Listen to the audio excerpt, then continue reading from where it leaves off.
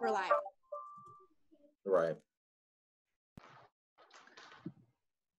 Welcome to the 13th COVID 313 Community Coalition for Families and Students Teletown Hall.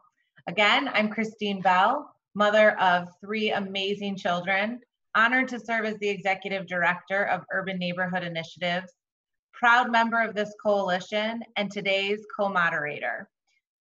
We have an exciting schedule to today. We're going to talk about summer school uh, and summer programs how we keep ourselves healthy while we reopen.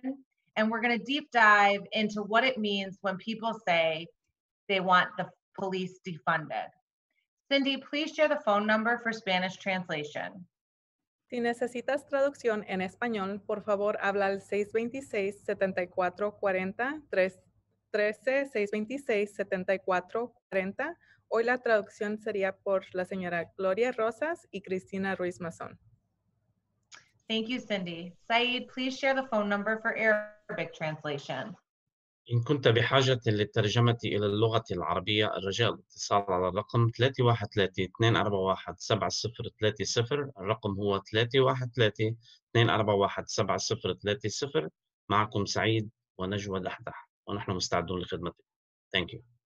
Thank you, Saeed. Julie, please share the instructions for ASL.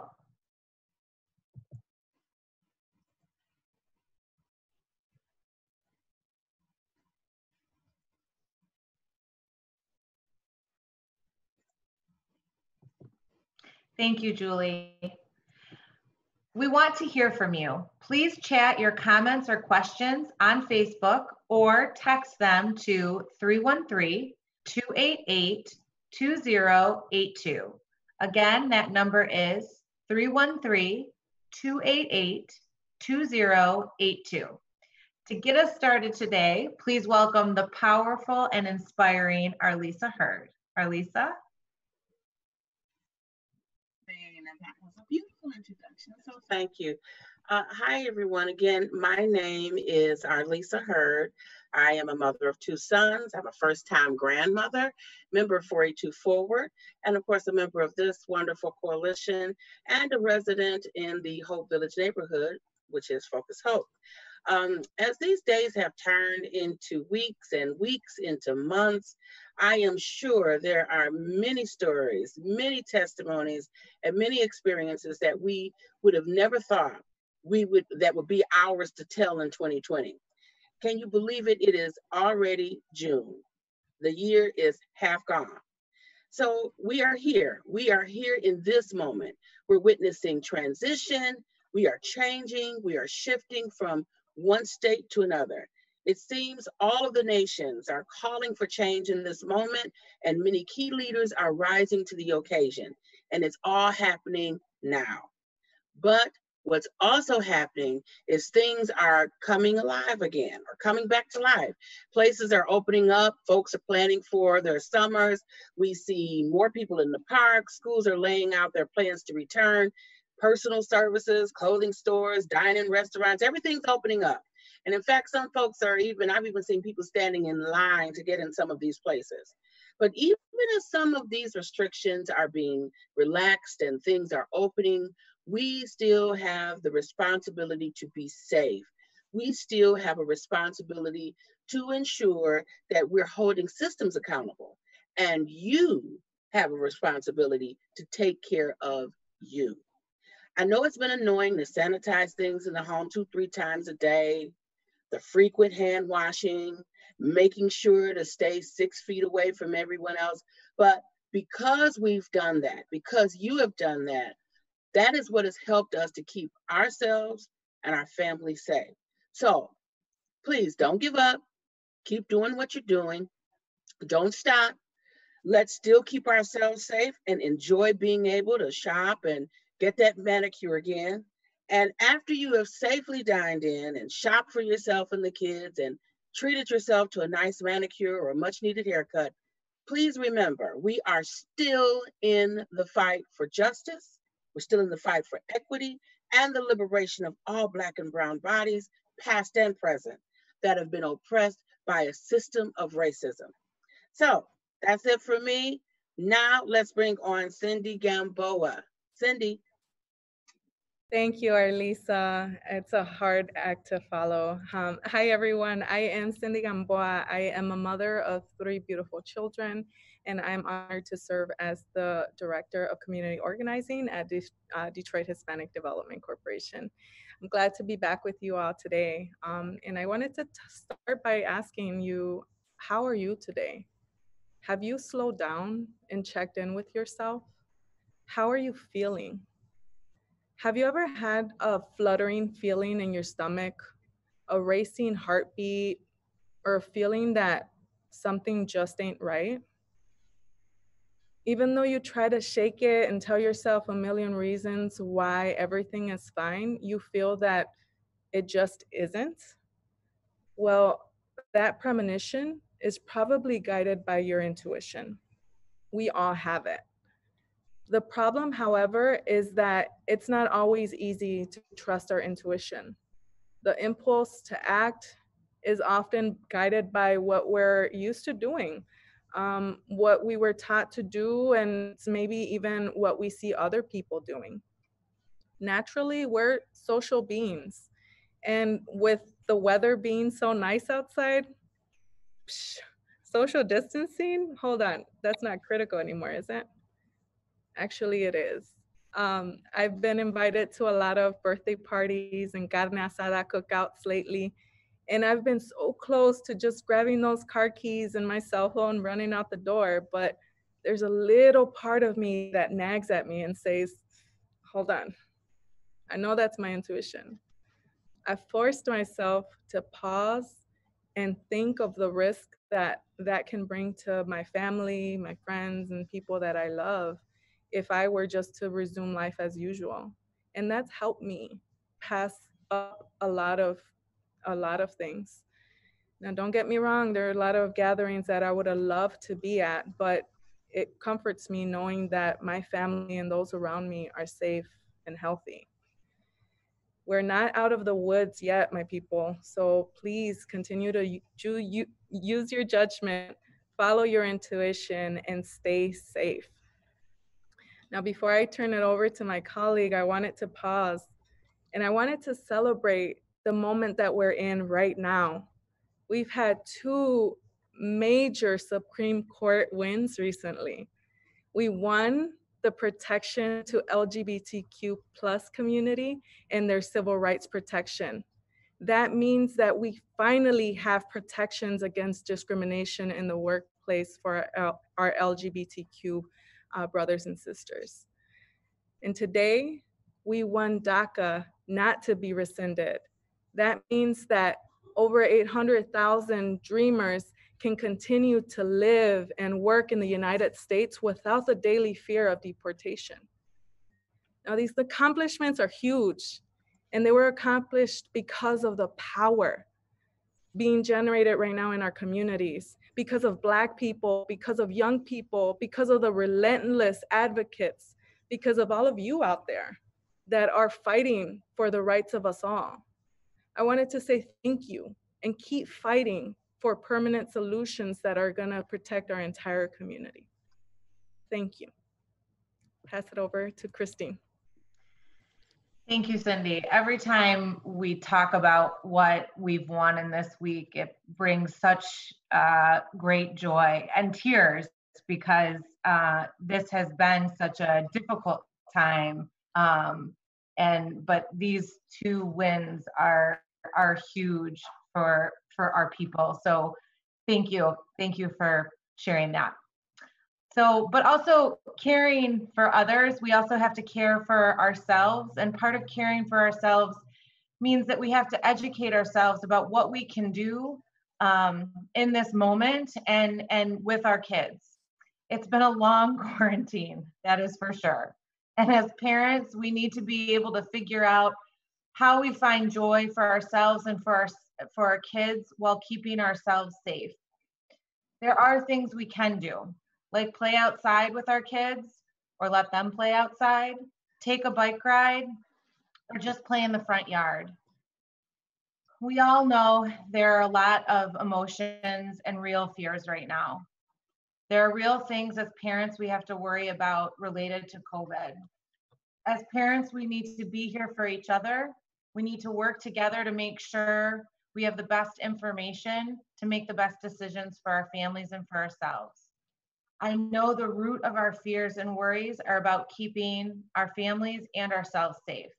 Today, we want to remind you that we're in this together and we're going to work our hardest to get the best information in your hands as we fight through COVID and we fight through the injustices that we've experienced um, over decades and decades. So Cindy, can you please share the Spanish translation number one more time? Si necesita traducción en español, por favor habla al 313-626-7440, 313-626-7440. Thank you, Cindy. Saeed, please share the number for Arabic translation. إن كنت بحاجة للترجمة إلى اللغة العربية الرجاء الاتصال على الرقم 313 241 7030 313 241 7030 وشكرا. Thank you, Saeed. Julie, please share the instructions for ASL for folks that just arrived.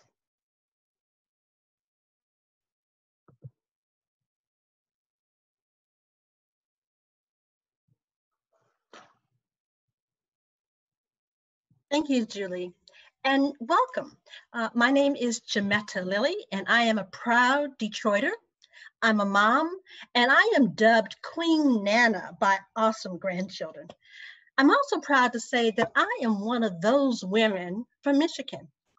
I'm also blessed to be the CEO of the Detroit Parent Network, where we work hard to make sure that parents are educated, equipped, and empowered for taking care of their children, being champions for children, and being champions for change. Change. Change, that is our operative word right now because we are witnessing change at an unprecedented time in our nation. As our speakers said before, we've had lots of wins, and those wins have come through our determination, our persistence in keeping our eyes focused on the long prize ahead which is to have an anti-racist society and that we're all working together for justice. But as we're working for justice and we're working for change, I must echo the same. Please, family, stay safe. Wear your mask. Keep that social distancing. We don't want to be the new Florida or the new Arizona. All of us and our Michigan leadership has worked hard to make us crush the curve, save more lives be with us in this unique fight. Yes, protest. Yes, collectively work. Yes, move forward. But let's do it safely because we have a challenge that only our behavior can help mitigate. So with that, as we talk about behavior and power and collective action, I'm so delighted again to let you know we have a wonderful program for you over the next hour and a half. You'll have an opportunity to hear from our experts and ask your questions.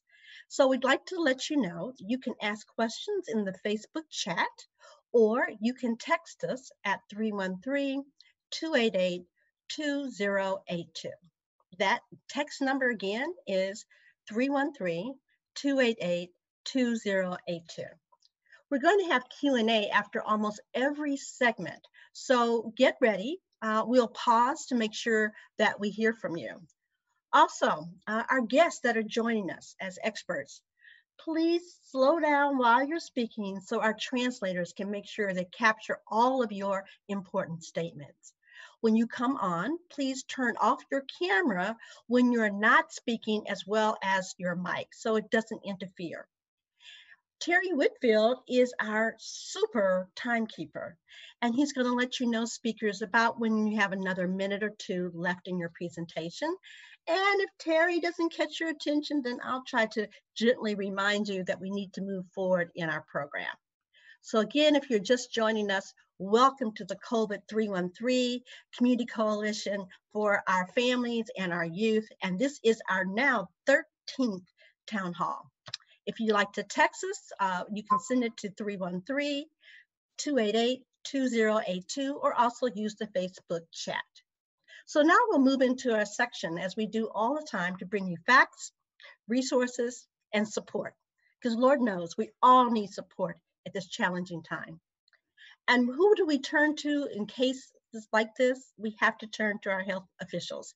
So we're very pleased to welcome new to the program is Naveen Elder. Naveen is a communication specialist with our Detroit Health Department. Welcome, Naveen. Hello, everyone. Hope you guys can hear me and you can all see me as well. If I'm going too fast, please feel free to stop me.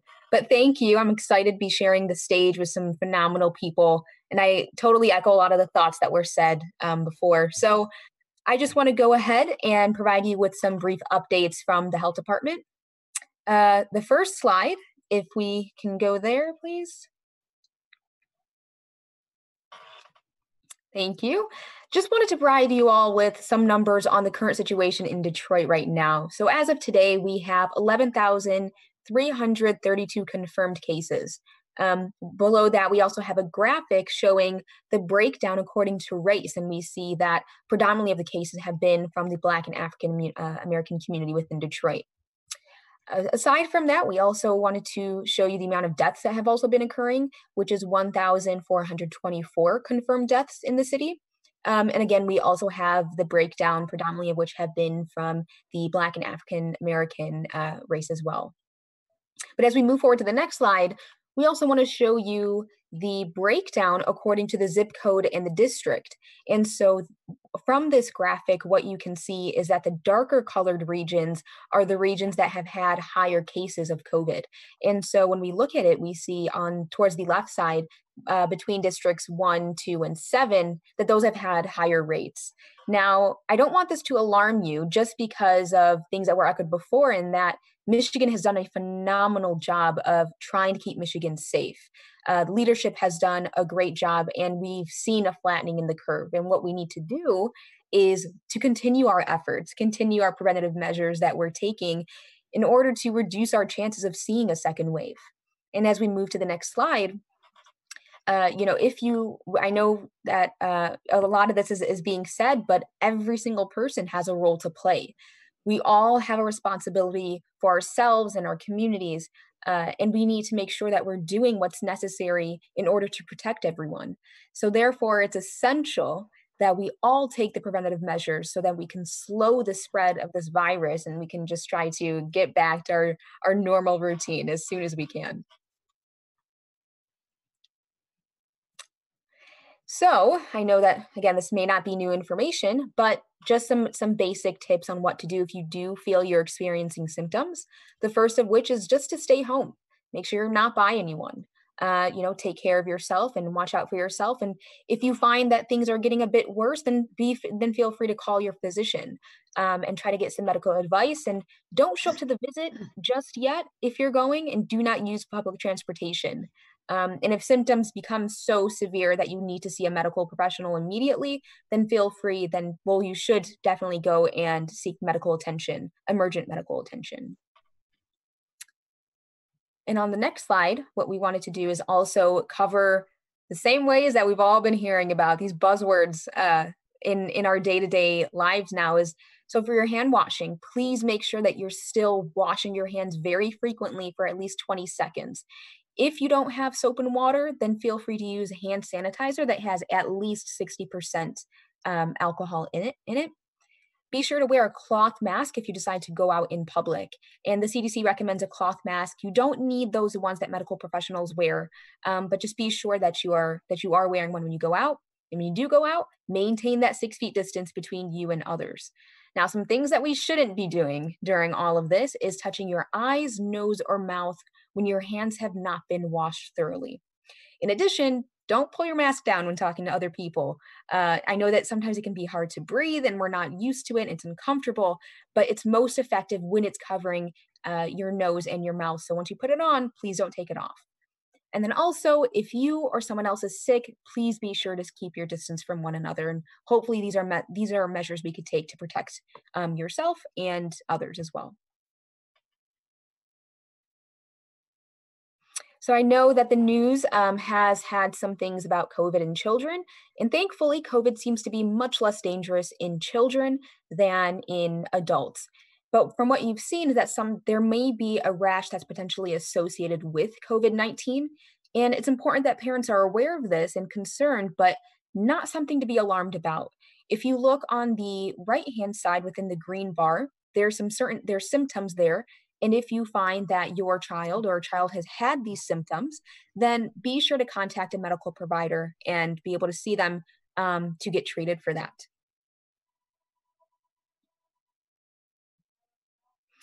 So we also want to provide you with some updates on where you can get free COVID testing. Um, this this testing is available to all Wayne, Oakland, and Macomb uh, County residents. And in order to schedule an appointment, you just have to call the number below and be and have a have some form of ID with you as you go. But again, this is appointment only, so be sure to call first. And on the next slide, we also have um, testing here at the Detroit Health Department. This is a bit more limited. So this testing is only available to those who are Detroit restaurant, um, if you work in a restaurant, a bar, salon, or barbershop in Detroit, or you're an individual contractor within the city as well. And so you can feel free to give us a call and schedule an appointment and you show up. Um, and the cost for both this testing at the Detroit Health Department as well as the previous slide uh, is at the State Fairgrounds are both free. Just be sure to schedule an appointment beforehand. And here are just some resources for you all in case you would like some more information. The Detroit Health Department is right in your backyard, so please don't hesitate to contact us. Um, we have a phone number, an email, our website, and then also community resources as well. Um, for some of the most up to date information on COVID 19, you can look at the CDC or the World Health Organization, which is the WHO. We also have some behavioral health resources as well. Um, here's a, a, slew of them for you here. And if you feel that you would like some, some help, then you're more than welcome to reach out to any of these resources that we have listed here. And if these slides, um, I don't know if we can make them available to everyone, but um, you know, feel free to to reach out. And then we have another slide with additional resources. Sorry, a lot of them today. Um, COVID-19's, it's a big, big topic. And so there's a lot to understand about it. So we have some designated resources um, from the internet for adults and some that are more tailored towards kids. I know that it can be a lot to understand. So hopefully this can ease the, the process of really absorbing all of that information.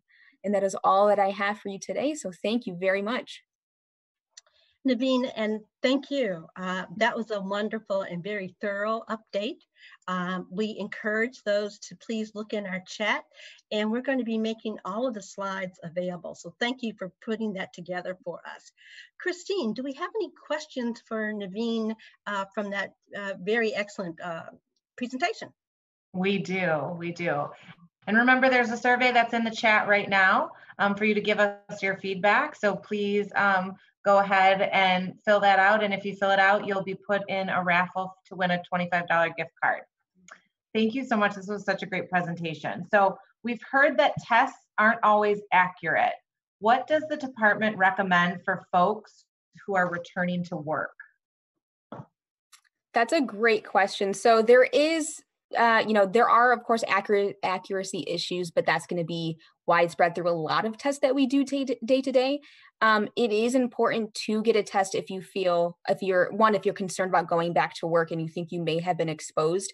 Um, and if you're working with people, it's probably best that you that you also get a test. I also have uh, Miss Yolanda Hill Ashford here as well, who's the director of health promotion. And so, if she feels that there's something I'm missing, she might just jump right up uh, uh, on here as well? Um, nope, good, great answer. Um, I would encourage everybody though that if they have tested and feel like something wasn't, something was amiss to, um, they should likely uh, either isolate if they're feeling any symptoms or uh, consult their physician uh, via telework or um, visit. I mean, telehealth or visit. Great, thank you. A few more here. I've heard that uh, one of the symptoms is losing uh, taste or smell. Can you tell us more about that? So that's a good question. I'm not a medical provider, so I don't know the exact specifics. From what we know is that some people may experience that as a symptom. And once people have recovered from COVID, they might still experience those symptoms. Um, in terms of how it actually happens, I'm not quite sure, but there may be resources um, on the CDC that can definitely help you look into that further. We will definitely look into that and, and get get more information out to the folks that asked that question. Um, okay, so what should I do if I go to, into a retail store? That's a great question. And so a lot of the a lot of measures that are being taken um, is that people are requiring uh, uh, consumers to actually wear masks. So they might even take your temperature check right at the door when you walk in as well. And they might do a quick screening asking you if you've had any of the symptoms relating to COVID. And so um, if you, some of them are also limiting how many people can be at the store at one time. So just be mindful of all of that. It's things that we're doing already, you know, monitoring your symptoms if you do, if you do have any, if you do, best to stay home. Um, wear a mask when you go in be careful to touch, you know, be careful of and be mindful what you're touching out there and be sure to have some hand sanitizer ready, which a lot of the stores already do.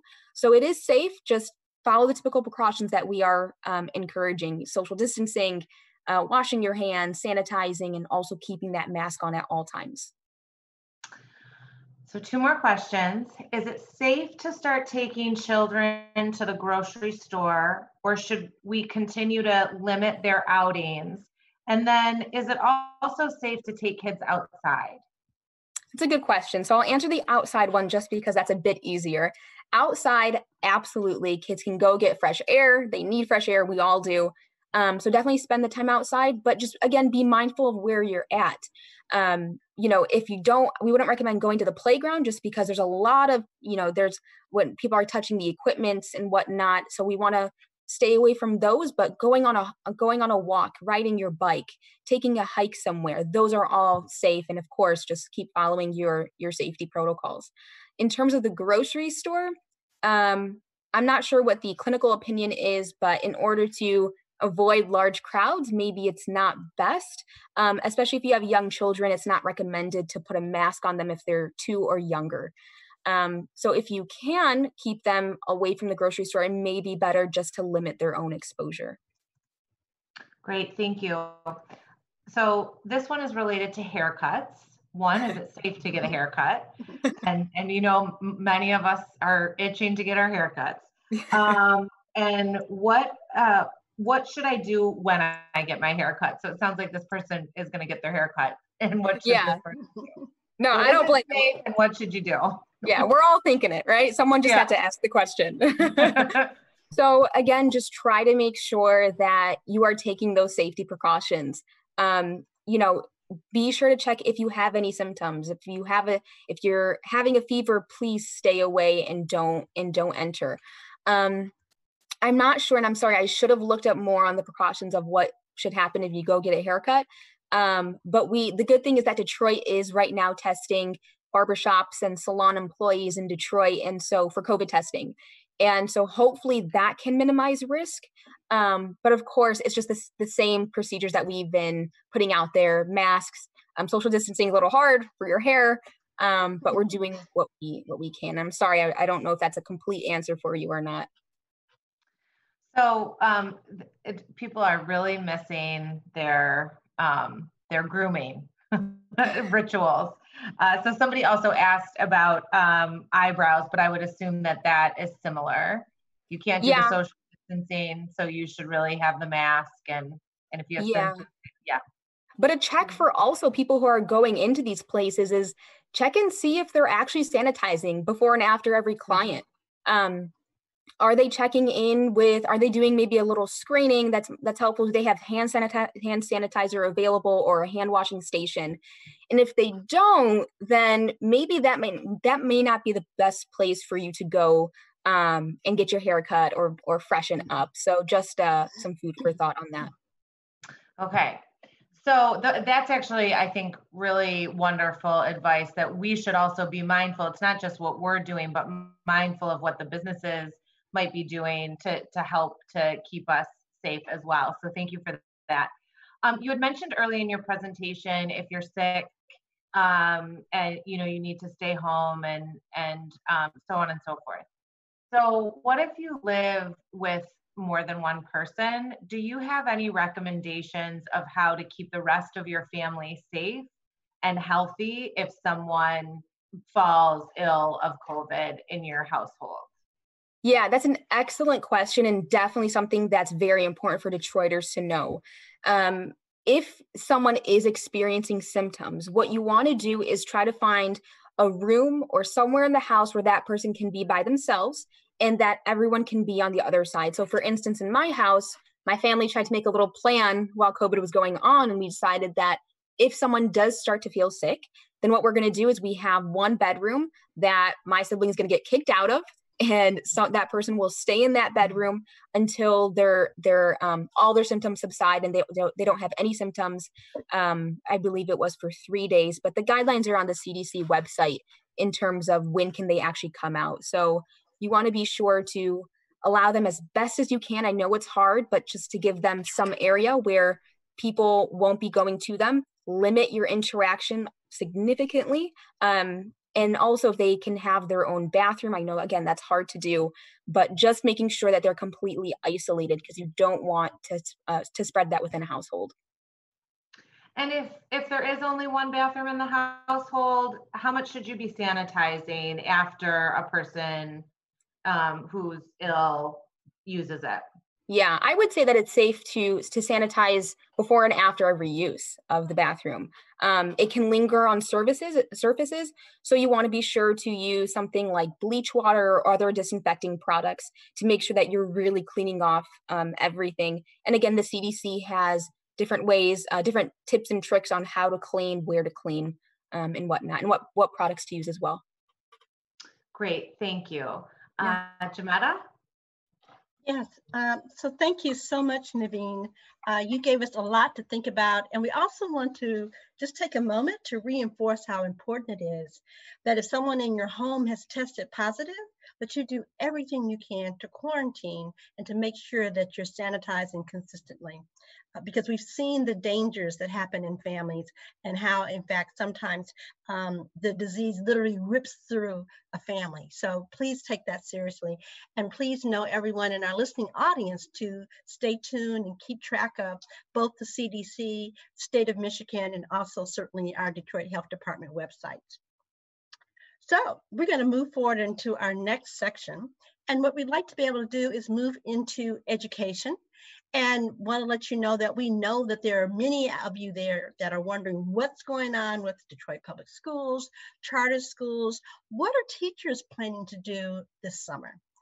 We'll start off with providing you some updates from DPSCD. Normally we would have had the wonderful Crystal Wilson to join us, but unfortunately she's out ill today but she has provided her information. And I'm going to take the liberty of trying to read some of that to you. Uh, so first, DPSCD wants to let you know, summer school will begin on Monday, July the 13th, 2020. That's Monday, July the 13th. Academic enrichment is being provided for students from kindergarten through to the eighth grade, and that will be offered as an opportunity to uh, participate in daily academic activities in literacy and math. That's for students from kindergarten to the eighth grade. Uh, there's also around courses and grade recovery. Students in the sixth to the 12th grade will be offered an opportunity to make up a course needed for promotion or graduation. So many of you out there that are seniors uh, and you're worried, are you going to graduate? You will have an opportunity to make up courses that's needed for your promotion or graduation. Call your school. High school acceleration. Students in the 9th through the 11th grade will be offered an opportunity to take a virtual course from a limited set of course options through Edgenuity that is required for graduation. So if you're a high school student in an accelerated program, contact your school. You will have the opportunity to take some virtual courses to move you forward. Table updates. I should say table, I meant tablet updates. How could we forget the computers that our children need to address the issue of the horrific digital divide that we have in this nation. And we're so pleased that more of our children, both in charters as well as DPSCD, will have access to tablets and laptops. DPSCD is making sure that high school students, you are being notified to pick up your tablets in June and July. So high school students, you're picking up your tablets in June and July. Kindergarten through eighth grade students will receive tablets in July. Parents, hope you made note of that. Summer meals, another critical function that schools play, not only to provide socialization and academics, but also food for our children. Beginning July the 1st, DPSCD will move to its summer feeding program, and that's required by the Michigan Department of Education.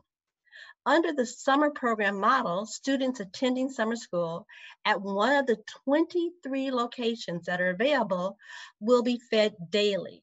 Daily, they will receive a breakfast, a lunch, and a total of 14 schools will continue to offer grab and go meals to families every Monday through Thursday. So there are schools right now, 14 of them, that have grab and go meals. Those will still be available Monday through Thursday, all the way to August the 20th. And you can find a list of those schools, the schedule, and what's available by going to detroitk12.org. That's detroitk12.org website to get more information. So the school reopening plan, in one of our previous town halls, you heard Dr. Vitti speak to that, you've heard the charter speak to that. All of the school districts in the city uh, of Detroit and other cities and throughout the state were required to develop a reopening plan. Dr. Vitti has reviewed the reopening plan with the board, board Tuesday night. Tuesday night. The four phase plan was presented to teachers, staff, families, and students, and the community last week during a series of engagement sessions. The district will ensure all the district staff are properly trained and are required to return to work with who have a negative COVID test. Schools will also engage families on protocols that would be in place as we approach the return to fall. And as we all know, a reopen will largely be based upon the current status of the pandemic. The district will be prepared if there is another outbreak. Know that they are planning. All students will have a tablet with, that is wireless uh, with wireless access thanks to the Connected Futures partnership. So that's a lot of information. We'll make sure that you have uh, access to that if your child is in DPSCD. At this point, what we'd like to do is make sure that we move forward to hear from teachers. And who better to get that insight from than Dave Hecker, who is the president of the American Federation of Teachers. Welcome, Dave. Good afternoon, and thank you. Uh, thank you for that report, and uh, thank you for asking me to join uh, this uh, this Zoom meeting. I've been um, uh, I've been honored to be appointed by the governor to the Return to School Advisory Council, which will be advising the governor on uh, ideas about that she would want to consider concerning the opening of schools, the reopening of schools throughout the state. Uh, just so you know, there are a couple of uh, uh, different groups of people who are uh, um, who are working on it. There's the Return to School Advisory Council the Department of Education, the Michigan Department of Education, has also had three task forces going. One dealing with urban, which I sit on, one dealing with rural, one dealing with suburban districts. Those uh, task forces are advising Superintendent Rice, because Superintendent Rice sits on an internal task force about reopening schools, along with other people who are in leadership of the state.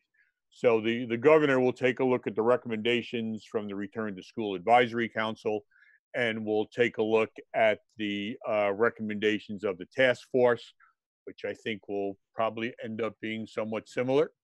And before she makes uh, her decision, which as she announced yesterday at a press conference, she wants to have a series of recommendations uh, coming out uh, on uh, on June 30th or or thereabouts. If you saw her press conference or read about her press conference yesterday, uh, uh, the talk of the advisory council is to follow her general, the governor's safe start plan.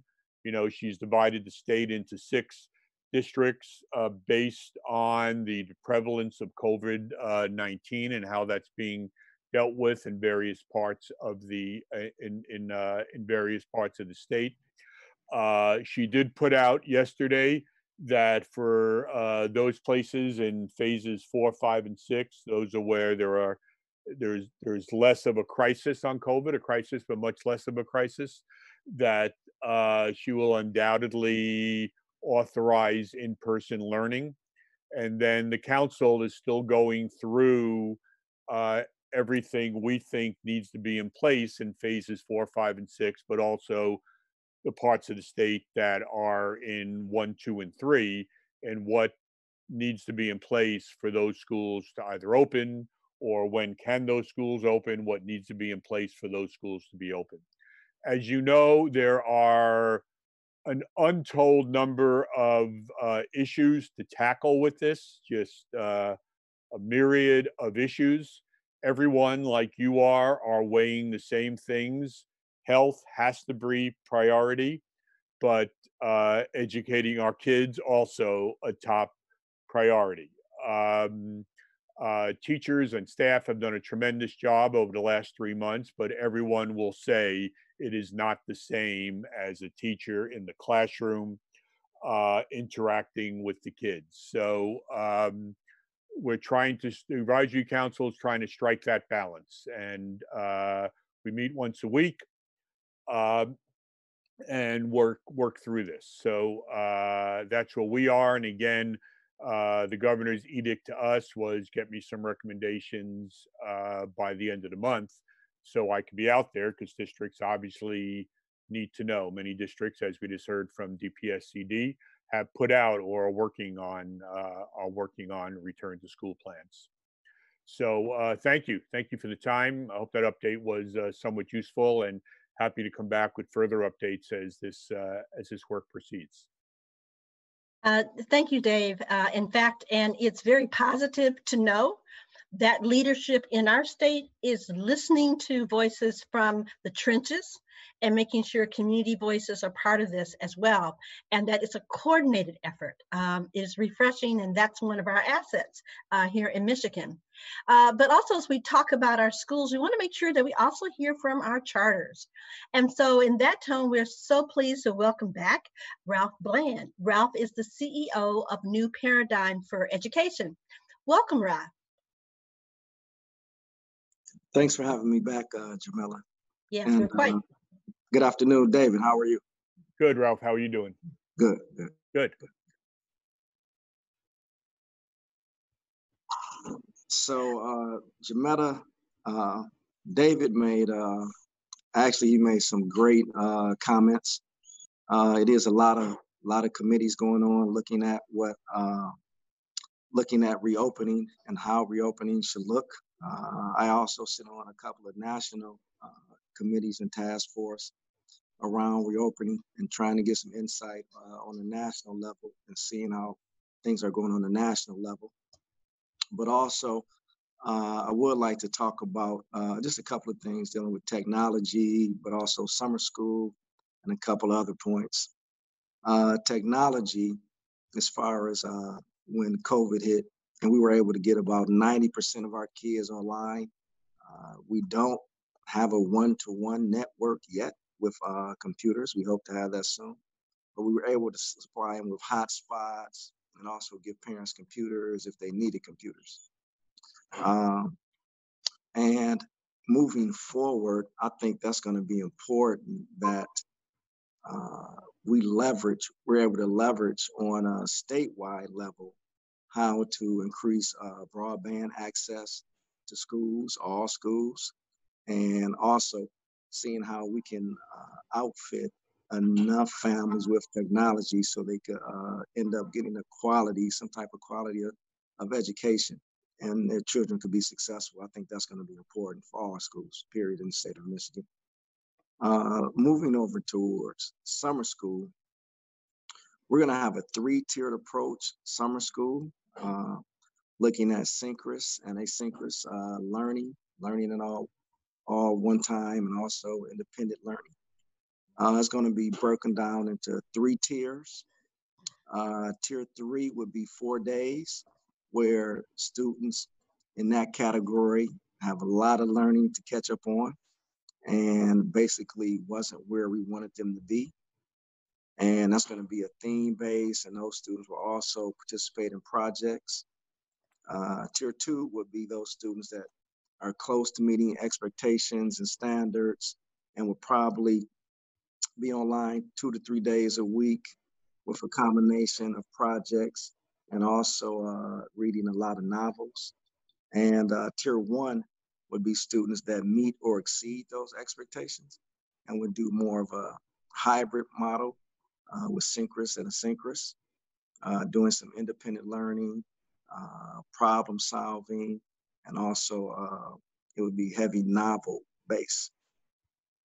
So, and I think that's important.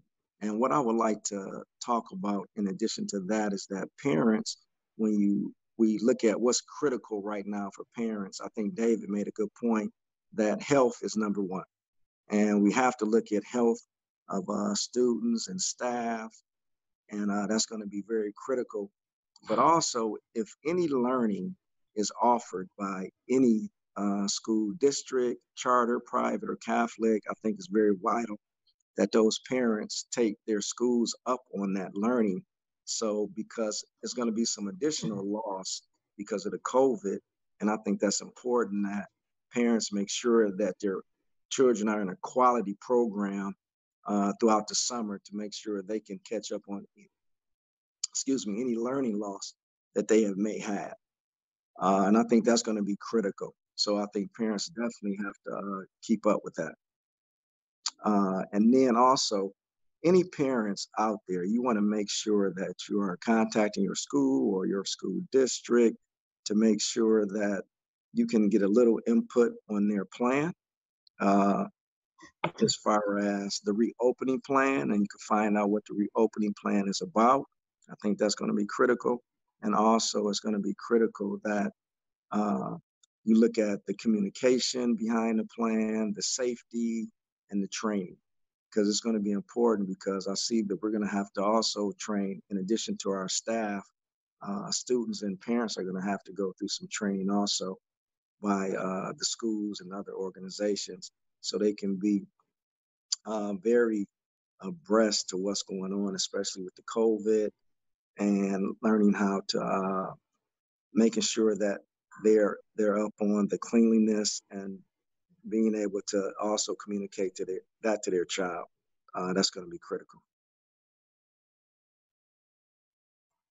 So Ralph, thank you for uh, sharing not only the work that you're doing at New Paradigm for your students, but it obviously this affects all of us.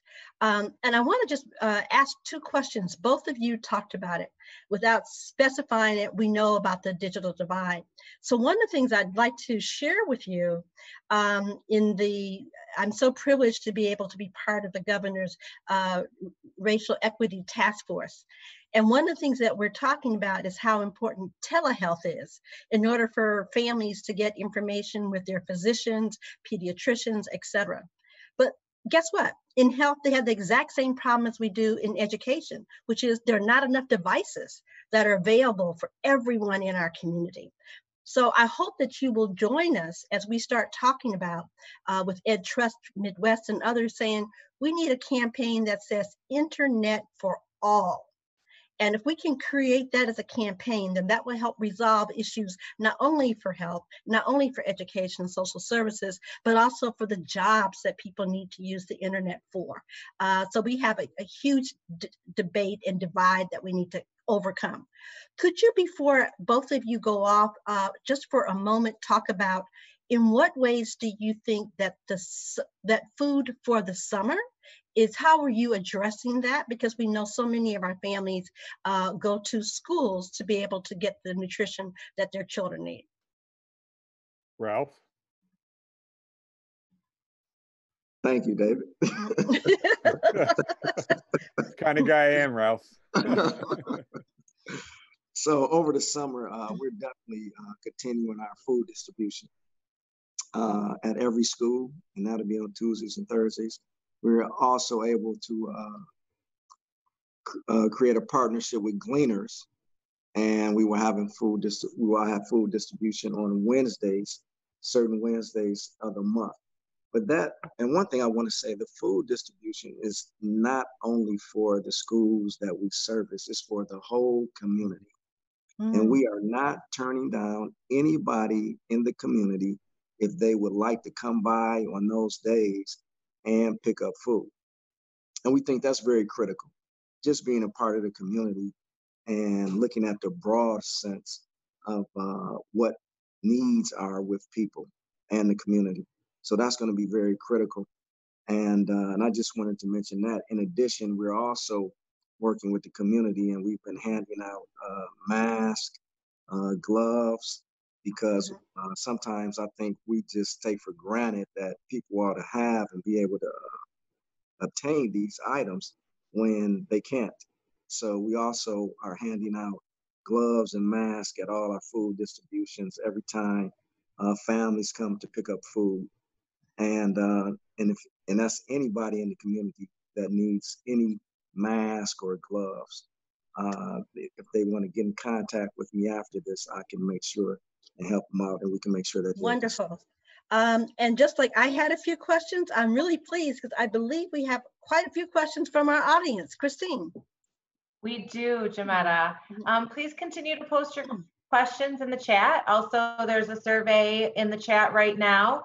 Uh, if you fill it out, you'll be entered to win a $25 gift card. Okay, so here we go. Where can parents get this information um, that was given from DPSCD? Um, is it available in Spanish and in Arabic? And I wanted to just announce that that it, we will translate what Jametta read, and then we will ask DPSCD if they've got this information in written form um, and if it's translated. So we'll translate what Jametta read today, both in Spanish and in Arabic, and we'll make sure it gets uh, back onto Facebook so that you can access mm-hmm. it there. Um, our schools, so this could be for Dave or and um, Ralph. Uh, are schools going to have to um, have have access to tests for students? Yeah, Are schools going to have access, Testing. So it, it's a testing question and and COVID testing. testing? Yeah. testing? Will there be not standardized? Will there be access to COVID testing? Oh, COVID, COVID. Yes. I, Uh, yes. Yeah, uh, the, there will need to be. Uh, there, there will, there will need to be, uh, districts will need to be able to, uh, figure out how to do that. Um, And and is that what's going on in New Paradigm also, uh, Ralph? I was gonna say, I, I can't agree with David more that, uh, I think it's gonna have to be a must for schools. Uh, especially if we're talking about students coming back in person for learning. Uh, I couldn't agree with David more. So I think this question is really rooted in in what happened when we had to quickly go into um, a, a shelter in place order. Um, and as you both know, uh, schools, you, know, what what was being done virtually wasn't necessarily counted. So this question is, will virtual school be counted for grades going into the fall? So what, you know, in, in the governor's uh, many executive orders, you know, there are, there are a number dealing with education in which a number of uh, state requirements were waived. Uh, you know, attendance, seat time, uh, et cetera, et cetera. Uh, and those, in my mind, uh, those times, you know, speak for myself and, you know, not return to school council, because all that's still being discussed. But in, in my mind, we would strongly advocate that an awful lot of the things that Governor Whitmer uh, issued an executive order on that need to be waived will need to be waived uh, the same this year as well. Uh, we don't think there should be any standardized testing this year. Uh, uh, that impacts how those tests are how those tests are used, right? Uh, we think the attend 75% attendance uh, needs to be waived. W- one thing I'm I'm uh, I guess I should apologize for throwing out a uh, a difficult question and then needing to leave in a few minutes. but uh, you know there are two things everyone needs to grapple with. One that we're all working on, uh, everyone on this on this call and on these committees so hard. Yeah. What is the right way to do it, right? Right. But then we also have to deal with what's reality, right? Let's say the right way to do it is everyone wears a mask. Okay. Well, then what happens when you know a lot of people are not going to wear a mask, right? And that you know that's just one of the questions. But we have to look at all these issues as to what is the best practice recommendation. Absolutely, that's what we're working on. But also, how do we deal with reality when that hits us uh, when school starts again? Thank you, David. Ralph, do you have anything to add related to the to the virtual school being counted for grades? Uh, I think David makes a good point again. Uh, what's reality? Because those are difficult decisions. And going through this the first time for the entire state, uh, even the governor, those are going to be have to. tho- Those are going to be difficult decisions. Now, should they be counted? Well, previously, uh, the the governor uh, and Dr. Rice issued either a pass or or or fail. So it, I'm thinking that it'll probably be along that line again, because it's just so it's just so difficult when you're not in front of a real teacher, and if you don't have the resources that you need, and the teacher doesn't have the resources that they would like to to give to the student, uh, it's just actually it's unfair. And so we're just dealing with like going back to David's point, what's reality? Thank you, Ralph. David, before you have to jump off, um, will teachers who are high risk have the option to remain at home and teach online? Uh, again, let me just speak for myself and, A- and not just myself, but AFT Michigan. Absolutely. Uh, we, we would strongly advocate that if you are at risk because of a health issue or you're my age, uh, you need to be given options if you're in a more high risk uh, category. Great. So I'm gonna, there's three more questions, maybe four, because I have the little dot, dot, dots on my phone. Um, so what about, so there, there's questions about water, access to water. What about air conditioning in schools? Because there's been, there's been some, um, some uh, recommendations that you have good ventilation in your public buildings. Um, and and air conditioning and and classrooms when people have to have masks on all day long like how will how will that work So there's, um, you know, at AFT Michigan, our, our buildings downtown, as people probably know, Jefferson and Chene, we had company we use come out and said, whatever you got to do up there on the roof uh, uh, to improve the system, the air quality, please, please do.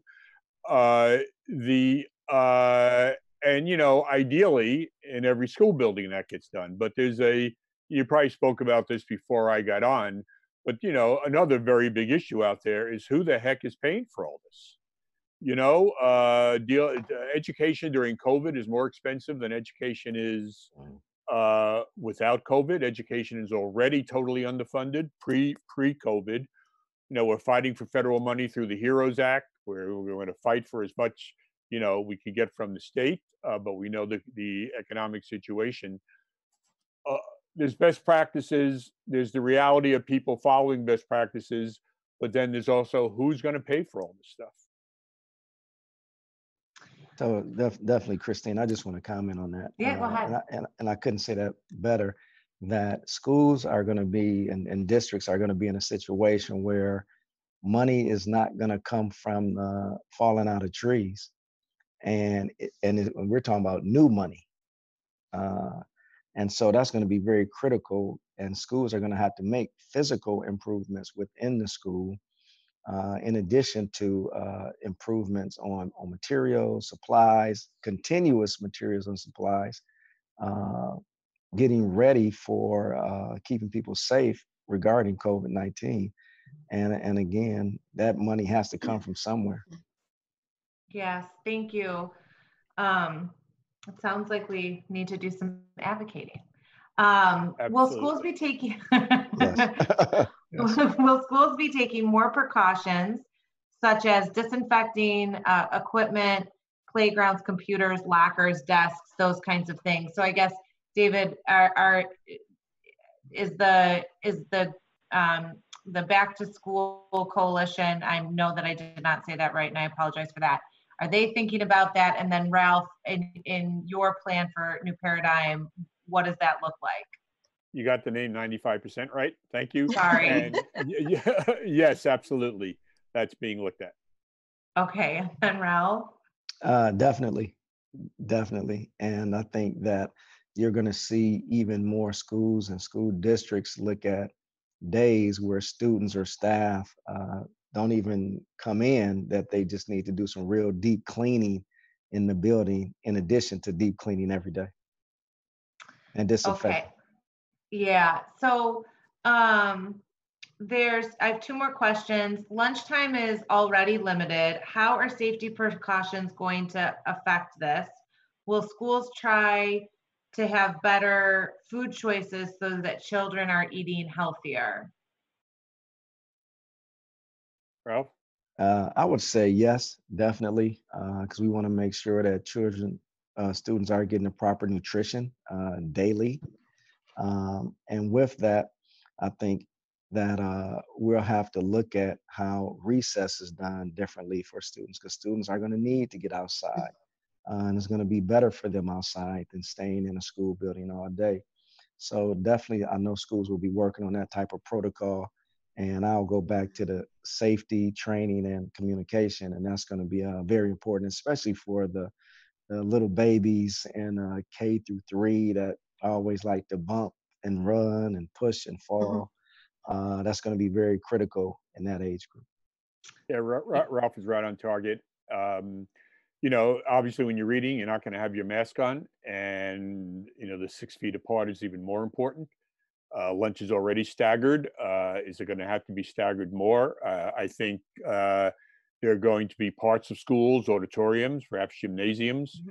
that are repurposed so that we have a large area where people can uh, uh, be be six feet apart. So the, the best way to deal with with lunch. So I'm gonna uh, I'm gonna ask the last question for you guys, but I'm gonna say uh, there's a question that came in that I just want to acknowledge how what the question is, but um, this is really for uh, DPSCD, I believe. So how is the district going to ensure that their buildings are stocked with hand soap, paper towel, and sanitizing the bathrooms and classrooms?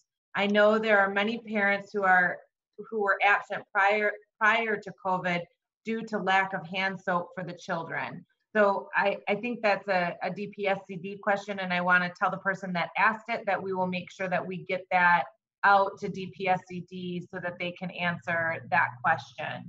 Um, but the last question is, will there be distant learning for parents um, wishing for their children to stay home until next year? So as you all know, many parents are worried uh, some don't want to send their children to school until there's there's a vaccine.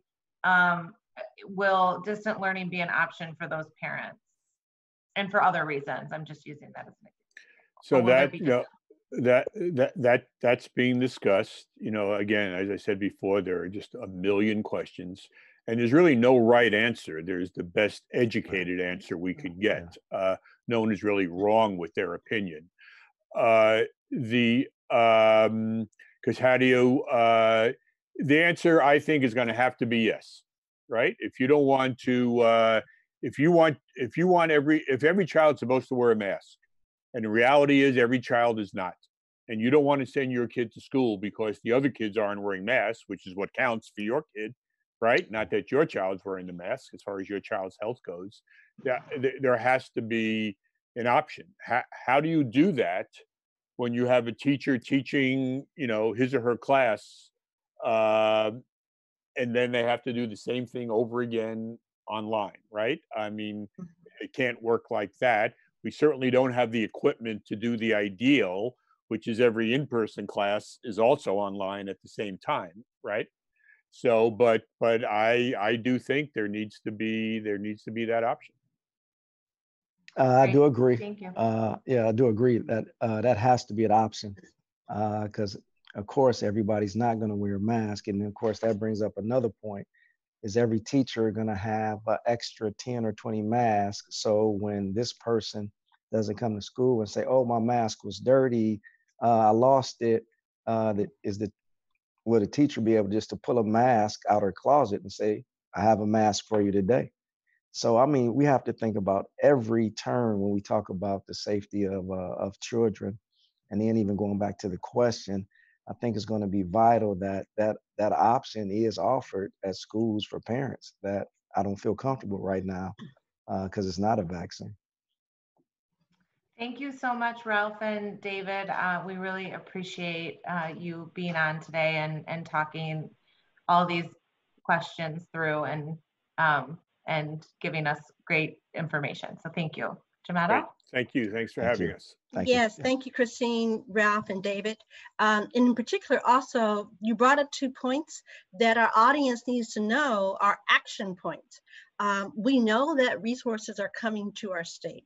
And we know that both our legislature as well as Governor Whitmer have decisions to make about how those funds are going to be utilized. And you're hearing consistently, uh, organizations, specifically educational institutions, are going to have huge new costs so how in fact could they ever handle the cuts that are being discussed? We know with our health community how critical that is. So our voices need to be heard in terms of advocating to make sure that we have appropriate and equitable resources that are given to our communities that are already at risk and to make sure that our kids are safe and healthy and continuing to learn. And, and, thank you for our educators. But as we talk about continuing to learn, uh, we're going to try to come back on this issue of what they used to call summer slide, the loss of learning when children are out of school over the summer. Well, we got something new, and that's called the COVID slide. Our children have been out of school already for three months. And there are people working very hard across the city of Detroit to see how can we bring together quality programs and coordinate our effort for the summer. So really pleased to uh, have join us Tony Adair, uh, Tanya Adair. Tanya is the Chief Impact Officer for United Way and is the lead on a phenomenal effort being made across the city to coordinate around summer program. Tanya, welcome. Hi, thank you, Jametta. It's so wonderful to be here. Uh, thank you for having me as a part of this conversation.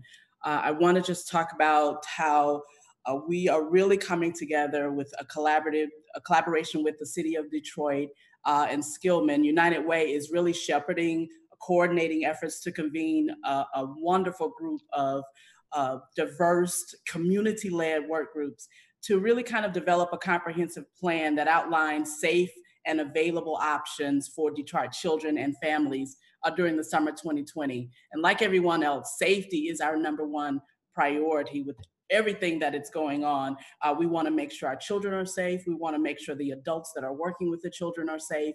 Uh, and just overall, providing opportunities for parents because one of the things that we know and realize is that businesses are reopening, jobs are reopening, and with that, parents have options. And there will be parents who will decide that I'm just not ready for my children to be able to go into a space. But there, we also know that there are parents who just won't have an option. Uh, they won't have any other option. They will need uh, places for young people uh, to go and learn, continue learning, uh, and participate in activities. So we wanted to make sure uh, that we're coming together with this wonderful group of, of people to just kind of plan that out and create a one-stop shop for parents to search for those options. The group uh, that is here, we really consist of youth development, early childhood leaders, uh, city staff, funders are a part of this group, and, and many other organizations. We wanted to identify uh, based on priority, we want to identify and match current available spaces and programmings. Uh, we know that we have some spaces uh, that uh, will be available uh, that are providing services, but there are also uh, programs who don't necessarily have a space to go to right now because of shutdowns, because the, their building may not be ready. So we wanted to play a matching game uh, for those spaces to assure we have options. Uh, we wanted to understand where the where there are still unmet needs for families. Uh, those were our number one priorities. And with that, that we broke out into five committees uh, focused on specific priorities. What are those physical spaces available? Uh, what what are the spaces that are ready ready uh, to follow local, state, and federal guidelines for safety purposes? Uh, what are those programs and enrichments that we can match up with spaces? Uh, what are the wraparound and supports and coordination services needed uh, for the families? Uh, those wraparound supports can can mean a lot of things, but we wanted to make sure that we are connecting the wraparound supports to where the kids will actually uh, be. And so, what are the PPE components what, that are needed, the PPE equipment, making sure that providers are equipped with everything that they need to provide a safe space. What are the parent and uh, family outreach efforts? We wanted to make sure all of that was coordinated. And then the reopening policies, tools, and resources, making sure everything, uh, everything is available uh, to assure a successful summer uh, reopening. Uh, we're so grateful for uh, the, the work of YDRC and, and Boys and Girls Club who collaborated to provide a virtual training that, and that is going on now uh, for those programs who are thinking about reopening and providing safety guidelines and tools and resources available uh, to make sure that they have everything that they need to assure the safety of children. We're coordinating a host of resources available for parents. And all of what we're doing is really to create that one-stop shop. And on the next slide, you uh, that that really kind of points out the Detroit Summer Guide 2020, uh, just really a website that's owned by the CEC. Uh, we want the website to be that one-stop shop to help parents uh, find available resources needed uh, to assure the best opportunities for summer learning and activities. With that, there are three components of the website, but I want to highlight uh, the parent tab. On the parent tab, uh, you will find three entry points. Those entry points will be number one, childcare resources that include information for ages zero to four. Uh, it'll include uh, links to Connect for Care, which focuses on helping parents navigate to find childcare centers near their homes or even near their jobs. Uh, other tools and resources like Great Start to Quality uh, links and Help Me Grow tools are also included on this website. Number two, Discover Your Spark. Discover Your Spark, you, it may have been referenced um, for years as the Summer Spark, and I know you've heard about the Summer Spark, but Discover Your Spark really provides available in-person and online programs for youth ages four to 18. Uh, not only for the summer, but we're also looking at after school programs uh, for once once the fall begins. And then the third component of the entry points, if you're searching for schools uh, for the fall this, in the city of Detroit, there's a component where you can find the available options there uh, that are also included on this website. So it really is a great tool for parents. There are resources uh, and, and opportunities for youth service providers and childcare providers to also be able to go to this site and, and download their information, upload their information uh, so that they that parents know that they are also available. That's also available through Discover Your Spark, becoming a part of that uh, listserv and that network uh, to really take advantage of all of the opportunities that providers are, are provided to help support the, the preparation uh, for opening. And so I've also want to highlight uh, a parent survey uh, that you will also find on the site.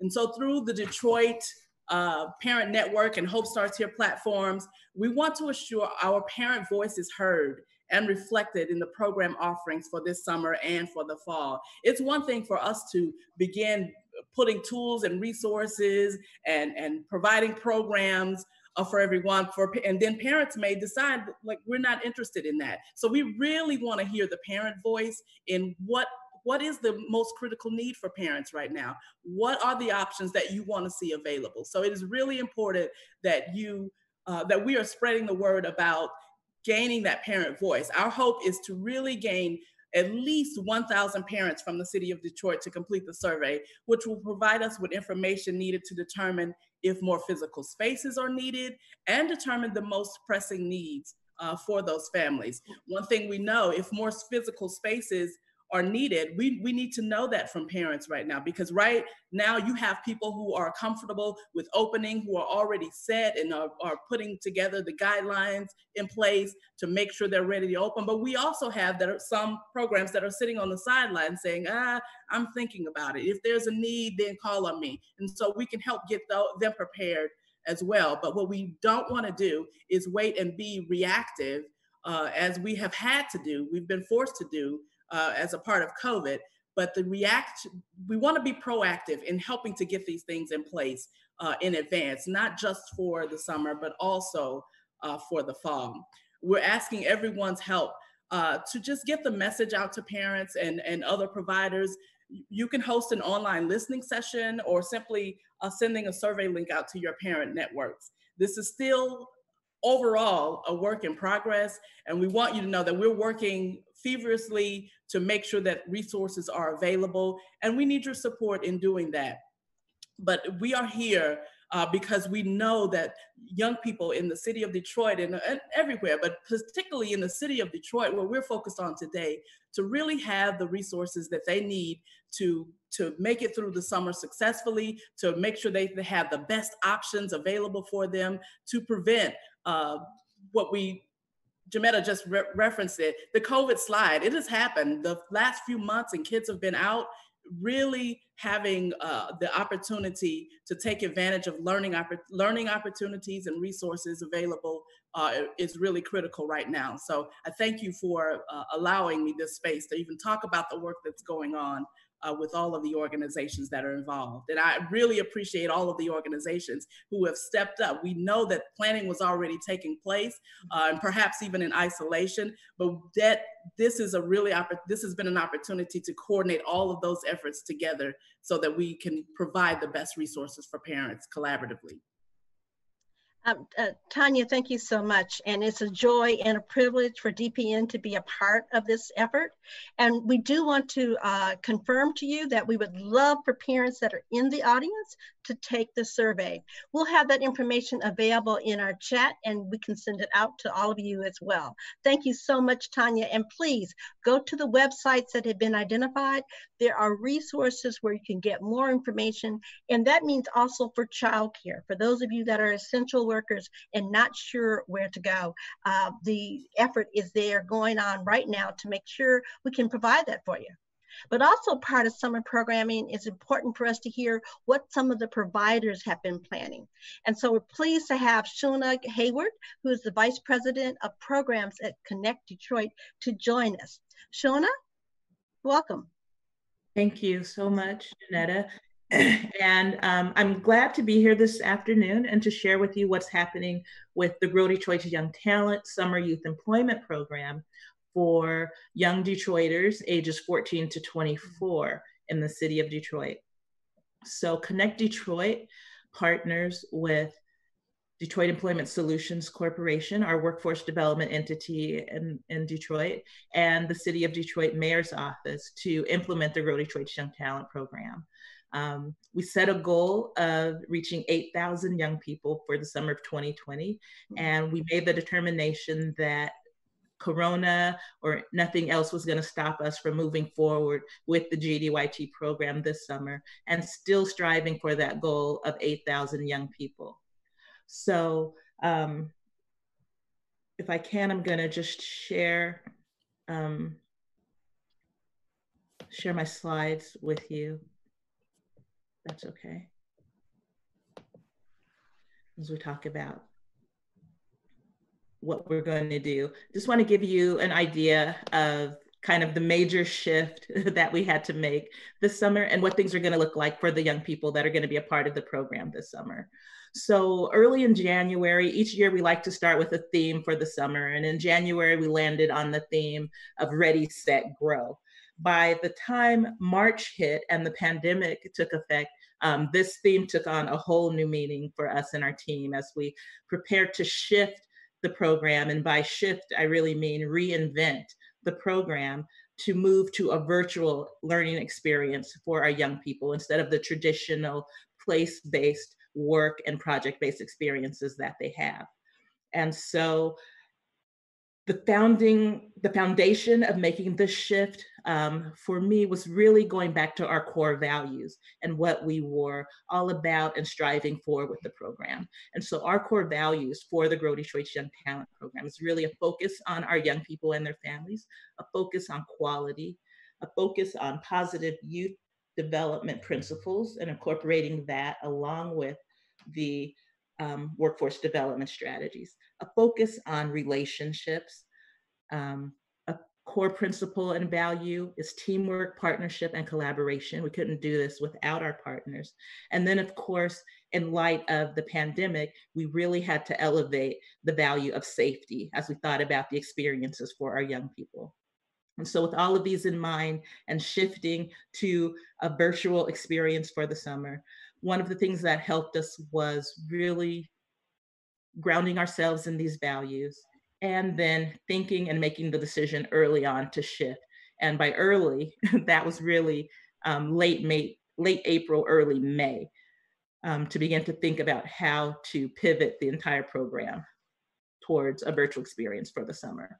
And so in thinking about um, our context, we knew the demands on us for the work we had ahead of us was that we still had to be responsive and not reactive to what was happening. We had to be flexible and nimble because things were shifting and changing and so dynamic in this current context. We knew it was going to be a challenge and a heavy lift, and that we and all of the many partners that it takes to make this happen, we're going to have to persevere. And boy, have we. And then we knew through it all, we're going to have to just stay encouraged ourselves and stay encouraging to one another and the young people and families that we serve. So the overall structure of the program looks relatively like this. Um, how do we get to the 8,000 young people? So Connect Detroit manages about 5,000 of those young people, young people through a network of community-based organizations and partners. And then we have about a thousand that land in our junior police and fire cadet program. Um, DESC manages another 3,000 young people through the Career Pathways internship and the industry-led training components of the program. And then we have about 1,800 young people that land in kind of what we call our affiliate bucket. And as I mentioned before, and I can't emphasize enough, the really the engine behind all of this are the community partners. Um, this year, we're working with probably 80 to 90 community and faith-based organizations across the entire GDYT network, if not more. There's also educational and public entities that are at the table to make this happen. Our private sector employers, and then of course, the funding partners that have really stepped up um, to be able to make this all possible. So what is the virtual version of the Detroit Young Talent experience going to entail? The first thing we had to figure out was how do we onboard um, all of the young people that are going to be a part of the program and shift from what had predominantly been a paper system to an electronic system in light of the social distancing and safety factors we had to factor in. And so in a matter of weeks, we vetted, built, tested and rolled out an electronic enrollment system across the GDYT program. And um, miraculously, it has been working really well. You know, there's minor things along the way, but nothing that we can't overcome to get thousands of young people onboarded for the program this summer and getting them in place and ready to get their learning experience by July 6th when we start the experience for the summer. The other thing we had to figure out was what was the experience going to be this summer, since we can't put physically young people at work sites this summer. And so um, on our side, for the 5,000 young people that Connect Detroit is gonna manage, we will be using two pieces for the content this summer of the learning experience. One is the virtual job shadow platform, and a companion to that will be a social and emotional learning engagement curriculum that we develop in partnership with the Youth Development Resource Center. Actually, um, we contracted with them and they built the curriculum for us. And so I'll talk a little bit more about those two pieces in a second so you can get a sense of what young people are going to experience. But the third critical piece to this was the supports that we know our young people are going to need to be successful in this program and to really triumph over all that's going on in our environment right now. And so we know that entails supports around the technology they're going to need for the programming, supports around um, the trauma and grief and loss that so many families are experiencing, supports around basic needs that this current pandemic is shifting so many families into food insecurities, unemployment, those kinds of things. And so, really thinking about that, and as well as the self care needs of ourselves as we try to do this, our partners, and the young people and family themselves. So, we're thinking about all of those pieces. And the other thing that we did this summer was shift from our traditional wage based structure to a stipend based structure this summer. So, um, again, on our side for the 5,000 through Connect Detroit, young people will be able to earn a stipend of up to $1,000 based on the achievement of benchmarks throughout the summer. Shauna, um, that was a very needed uh, information because we have youth all over the city and parents uh, who've been contacting us to better understand it. Uh, but if I may, because we want to make sure we have several questions that have built up for you and also the other speakers in this segment. Um, if, so please excuse the interruption. I want to bring on uh, our next speaker, uh, who is Ricardo Marble from the City of Detroit Recreation Department. What is the city, in fact, planning for our children and youth? And then we'll open up for a Q&A. Ricardo, please Good ahead. afternoon, everyone. Um, let first let me apologize for you all not being able to see me. Um, I'm having some serious technical difficulties over here, uh, and Terry and I worked up to the very last minute, and I was uh, finally able to get on at least by phone. So I apologize for you all not being able to see me. But we hear uh, you fine. Perfect, perfect. I appreciate that. Mm-hmm. Um, so, for the most part, um, first let me talk about um, some of the things that recreation had planned on doing before COVID. Um, typically, we would have over 20 sites across the city of Detroit um, for youth to have some at what we call summer fun centers. Uh, we would have 12 inside DPSCD schools and 11 inside our recreation centers. This summer, we were planning to add another 13 sites for a total of well over 30 sites um, for kids to come and have enrichment programming, have fun, receive meals, and things of that nature. We were anticipating having right around 3,000 kids um, at all of the sites um, across the summer the, for the total summer. Um, unfortunately, with COVID came across uh, came across everyone, um, it, it forced us to rethink what we would do this summer. Um, and so what we decided was the rec centers, the mayor decided to close the rec centers for the safety of the entire community. Um, and those rec centers were turned into food distribution sites. Um, to date, we have distributed over 600,000 meals. Um, what we've also decided to do while distributing those meals to help kids to kind of stay up on their academics, we decided to kind of pro- try to provide some type of reading for the kids. We partnered with Kiwanis and we were able to also distribute over 15,000 books to kids across the city. Um, moving forward for this summer, particularly starting um, in July, we're looking to do some virtual programming.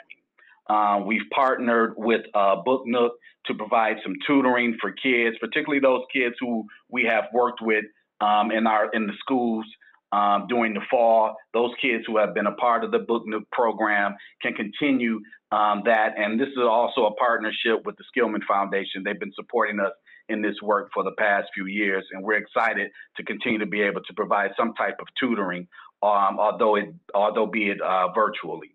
Uh, we're also wanted to make sure that the kids are not only doing something academic, but we also want them to have a little bit of fun. Um, Brad Dick, who is who is the director of the recreation department, wanted to make sure, I should say, of GSD. Uh, he wanted to make sure that kids were not only getting some academic um, assistance, but they, he wanted to make sure that they also had some fun.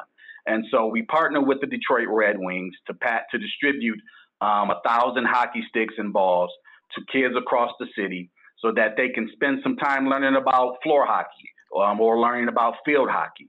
Uh, but not only that, they also would put, have their own program where they would be able to log on to a system and begin to do some STEM programming. And every time they logged on to do the STEM programming, it would take, um, they would make sure that they knew that, hey, we, you have a unique identifier and we're going to make sure that we keep track of how many times you've logged on. And once the program is over, you receive an incentive. Um, so we're working very closely with the Red Wings to do that. We've also partnered with the Detroit Pistons to begin the possibility of distributing basketballs and them doing some virtual basketball camps.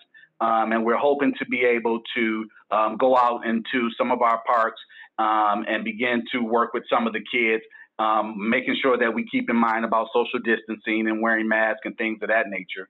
Uh, but we, we're working on some things to be able to be done virtually. Um, at this moment, we're not going to be open any of the rec centers. They will still be available for food distribution at least until the end of the summer. Um, but for the most part, we'll be working with the kids virtually and possibly doing some things in the parks. Um, I mentioned earlier that we would be that we've distributed over 15,000 books.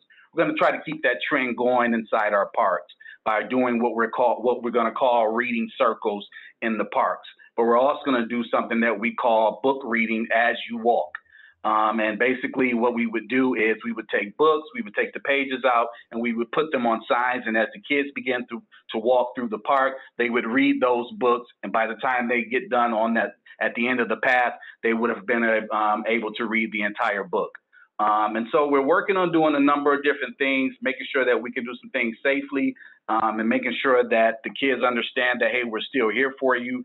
Uh, we have nearly 3,000 kids that we work with typically over the summer, and we want to make sure that while we cannot reach each and every kid, we do want to make sure that we are offering opportunities for families and kids across the city.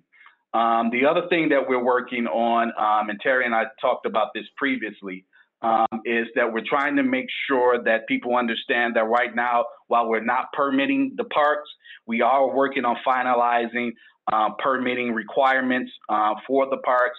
So if any organizations are looking to utilize the parks during the summer, um, they can reach out to us, and we are uh, working very closely with our local health department to make sure that we are able to um, allow people to utilize the parks in a safe way.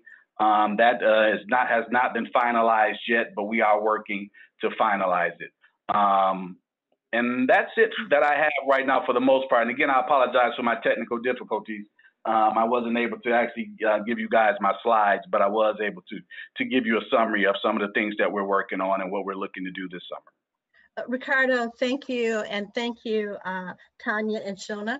Um, one thing I think we've all heard is all of us have to be creative, flexible, and innovative in this timeline. And the best laid plans that we've made, we recognize that COVID may create a third, a fourth, and a fifth plan. So thank you to all of you that are working and all of us working on this. Christine, do we have some questions? We do. Um, we have two. Um, will the number, uh, oh, sorry, will the summer programs have adequate masks and sanitation materials available? Wait, Tanya, could you speak to that? And if, if you can't, I, I can chime in. So sure, I can say that uh, United Way has been really a component of helping helping to get the resources throughout the community with regards to PPE equipment, uh, hand sanitizers, and other, and helping kind of coordinate those resources uh, for individuals. And so we will do the same for summer programs. Uh, we're definitely on board uh, to make sure because we, uh, again, safety is the number one priority. Thanks. And I'll just add the YDRC, which is the Youth Development Resource Center. Um, the the workshops that they're hosting for youth program providers is is laying out safety first, and so program providers are are creating plans that include sanitation, masks, all sort all the all the protective gear that we need for young people that will they're they're helping to to have youth programs learn how to shift and, and make sure those happen so the the programs are making the plans and we're so lucky that we have united way that's helping us to to get access to the actual materials um, and this was for the health department. I, I don't see that the health department is still on. So the person that sent a, a question about what are the COVID numbers and deaths in Southwest Detroit, we will make sure that we get that um, that answered for you. Jametta? Yes, thank you, Christine. And we also want to encourage you, if you go to the City of Detroit Health Department website, you will see a map and you can click onto the map. That map will show you different communities that are experiencing uh, varied levels of COVID. And you, in fact, will be able to look at the two uh, zip codes that predominantly make up Southwest Detroit. So we want to encourage you to use those resources. Uh, so we're going to shift a little bit from having. Uh, yes, go ahead. I'm sorry. So somebody just asked, how is the city notifying parents about these options? So I, I think that that's for Ricardo. Um, and the the so uh, I'm sorry. Was there this the from a parent who initially signed up for an in-person program and hasn't heard? Mm-hmm. So is the is the how will parents know what it is that you all are planning on doing? So we, we are in the process right now of finalizing our website and everything. Uh, but if they can send me an email at marbler, that's M-A-R-B-L-E-R, at detroitmi.gov, um, I will make sure that they receive the information. The other side of that, I thought I heard you mention that someone had signed up for an in-person camp and hasn't heard. If that person can email me as well, I will definitely make sure to address that issue. My apologies for that. Great, thank you, Ricardo. We really appreciate that. And then at the beginning of this section, we talked about the Detroit Summer 2020 website. You can go there for, it's a one-stop shop to find out what programs are available that are in person. So remind people to do that. And that, um, and the, um, so yeah, so thanks, Jametta. yes, certainly. Thank you. Uh, so one of the things that we have been sharing as we've been talking consistently with the coalition is that knowledge is power. And our collective action, we are seeing the impact of our power and knowledge consistently. And one of the questions that has come up consistently is that what we know when we talk about the horrific tradition of racism and police brutality is the whole question of what should be the role of police? What is the role that they should have in reference to the community? And to help us to begin to think about alternatives to policing, we're really delighted to have join us is Jonathan Stith.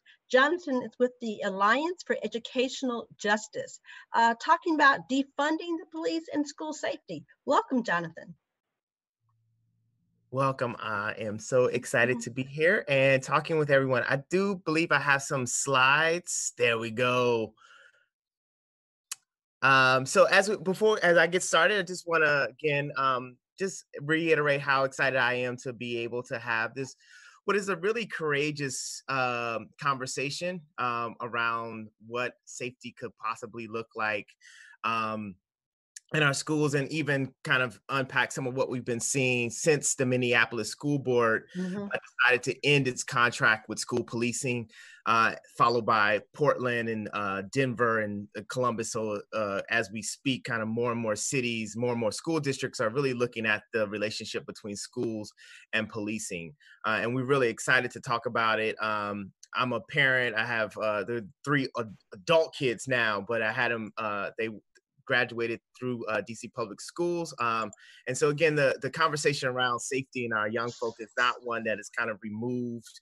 Um, it's something that I, you know, I worry about every time uh, one of them, even as old as they are now, still leave out the door.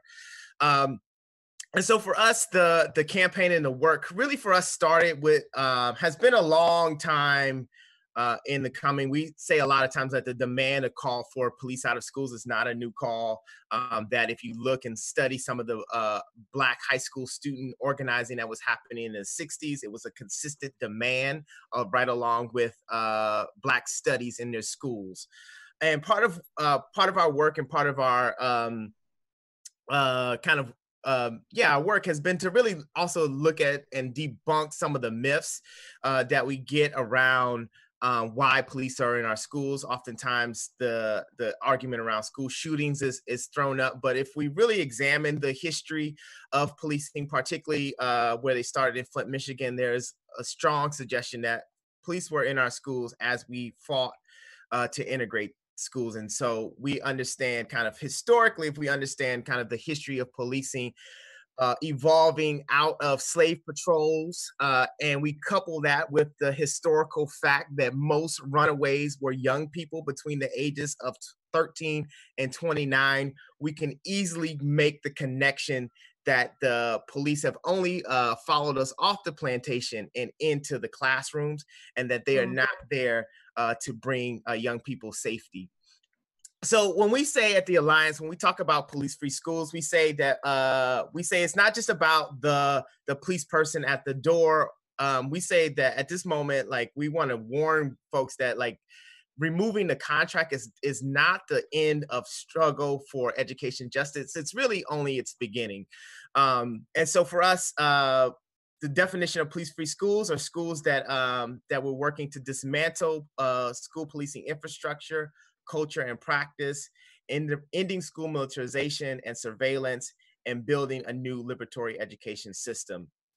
And so again, a lot of this stuff is grounded in what we've seen young people's experience, even uh, going back to Trayvon Martin in 2012, uh, in Ferguson, uh, to see those police departments with military grade weapons and to find out that many of our school districts, uh, school police also were accessing military grade weapons through the federal 1033 program um, have all kind of led us to this position um, that police don't belong in our schools. Also, after kind of a series of 20 years of organizing to end the school to prison pipeline, various attempts at trying to reform the relationship between schools and policing through work around uh, memorandums of understanding, better training, um, all those things we've tried and we've continued to see uh, young people brutalized. We continue to see uh, a massive over reliance on uh, policing, and that has had a negative impact on the quality of education available uh, to our students. Next slide, please. Uh, so for a lot of our work um, with the Alliance uh, and the young people, it's really grounded in this vision of abolition and young people understand abolition and abolitionists as those who seek to end systems of oppression and exploitation. Um, and uh, for so many other uh, kind of abolition as it's been uh, worked through or defined by some folks like Angela Davis and critical resistance, we understand abolition is not only a practical organizing strategy, but also a long-term goal uh, and for uh, and it's grounded in kind of young people uh, respective uh, political traditions. So folks coming out of Black organizing, Latino X uh, communities organizing, all have a freedom tradition um, that connects them and has been some of the nexus around um, driving a lot of the changes uh, that we that we see. And so uh, very somewhat to echo Ella Baker, who talked uh, about students in SNCC and saying that this was bigger than a, a hamburger, was bigger than a sit-in. It for us is uh, it's also that struggle as well. Like we understand young people are struggling for something bigger than a restorative justice circle, bigger than a police-free schools. They're really struggling for the liberation of uh, the human spirit and of the world uh, and uh, and so they understand kind of police-free schools as a seed to a police-free world. That if we can, uh, as schools reflect society, we believe that if we can change the reflection of schools, we have a possibility to change society, and that the struggle for police-free schools is meant to be a seed towards a society that moves away from uh, the criminal injustice that we have here. Next slide. Um, and so it's not, again, it's a practical organizing strategy. So we offer uh, some ways for folks to think about it. Again, we understand abolition is a, is a long path and uh, you all might just be beginning uh, that path. And so we offer some ways for folks to think about it. Um, so one is just decriminalize, looking at the sets of laws in schools uh, that criminalize students uh, in their classrooms. The second one is deprioritize. How do we make uh, calling the police the last instrument of a last instrument of resort? Um, and like we've seen in so many school districts like Oakland, where teachers are calling the cops on black students 6,000 times in a school year, oftentimes for normal routine school behavior that should be handled by a principal or whoever's in charge of school discipline. So how do we make that uh, instrument of last resort? What we see in terms of defund, how do we shift uh, resources that have been used for policing students into the things that they actually need and that we understand will address the conditions that often lead to some of the intercommunal crime um, that we see and even some of the school shootings. How do we make schools these spaces of sanctuary? And that begins with investments in counseling social worker uh, youth development. Uh, the fourth one is kind of disarm and demilitarize, right? We don't think teachers should be armed. We don't think janitors should be armed. And we don't think school districts or school police need bazookas and armored trucks and helicopters to protect students. Uh, the third one, the next one is delegitimize. Again, that's just really telling the truth about what's happening. So school districts and parents should know, want to know what the data is. What are police being called for in your schools?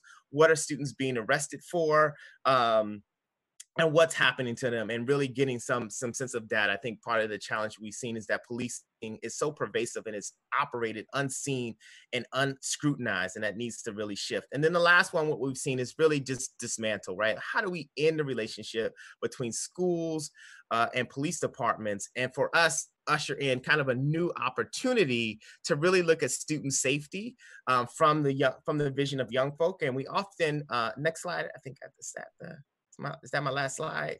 Um, and so for us, it's about this kind of idea, how do we build power for students to have voice and control over uh, school discipline and being able to solve their own problems, as well as increasing community control of our schools, and again, building towards uh, a liberatory education. And sometimes people are like, what does that mean? And so I'd like to leave y'all with a quote from a young person that we lost in 2012, George Carter III, to an incident of youth of violence in New Orleans. Um, and he always talked about uh, he imagined schools that had mood detectors instead of metal detectors. Hmm.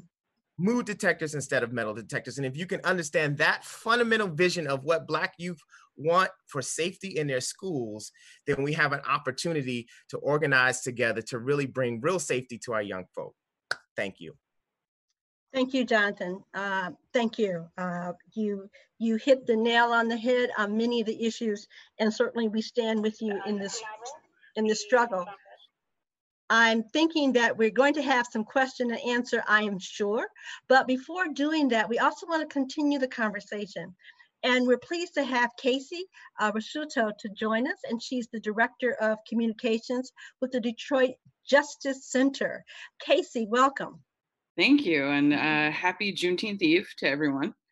Uh, so I have some slides that I will present from my computer, if you'll just give me a moment.